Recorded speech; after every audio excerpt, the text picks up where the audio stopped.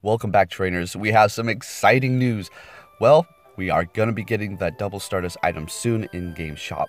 Free incubator a day when you spin the Photo Disc or Pokestop, and 20 new Pokemon coming very soon.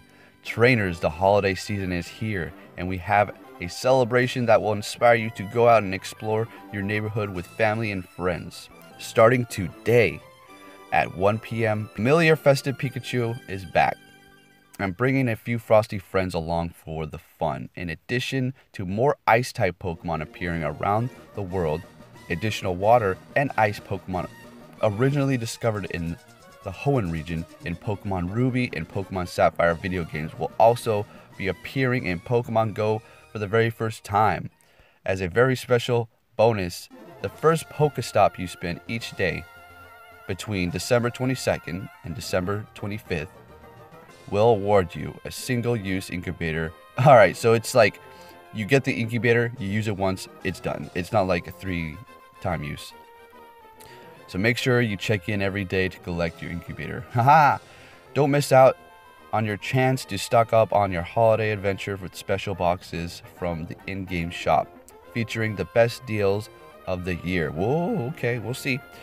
From December 21st through December 25th, special boxes will feature items such as super incubators, lure modules, and an all new star piece which earns bonus Starbu- Starbucks earns bonus Stardust for 30 minutes when activated.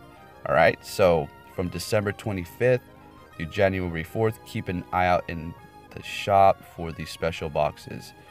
Okay, so they're basically saying keep an eye out for the special star pieces after Christmas. And then they're going to be having raid passes and super incubators. It's going to be a whole crazy sale, you know, trying to trying to pull out all the stops right before the um, holiday season is over. Get as many deals as they can. So this is exciting. We will be getting new Pokemon today. I hope you all are ready. I'm going to be on the hunt. Ooh, I'm going to be on the hunt. So um, who are you most excited for? Huh? I see Kyogre over here. I see him, but he's not going to be dropping until um, until Groudon is gone. Uh, maybe, maybe they might drop it on us today. What could you imagine if we get Kyogre today, um, along with uh, Groudon right there? That would be pretty cool, to be honest. Um, I'm looking forward to Melodic Sharpedo and this little guy right here. Oh, man, this is exciting. So I hope everybody is hyped and ready to catch some Pokemon. So, with that said, I'll be catching you all later. Thank you for watching and be safe.